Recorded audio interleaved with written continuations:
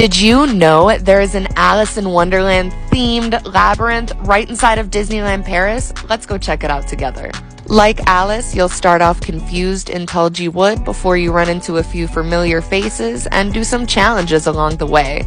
This is definitely a maze and a truly maddening experience, as we are all mad here.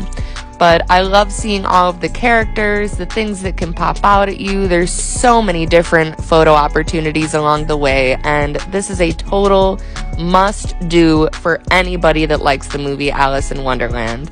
It is my favorite movie, so it was a total no brainer for me.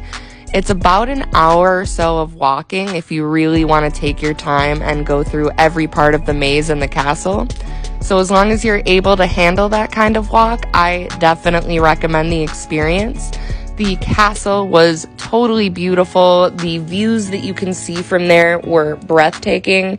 And the theming is frankly just unmatched in America. We do not have labyrinths like this or anything that is themed to this degree like a movie. And this was probably my favorite experience at Disneyland Paris. I know it's not technically a ride, but I really felt immersed in the movie Alice in Wonderland. And to me, that's the kind of experience that I go to Disney for.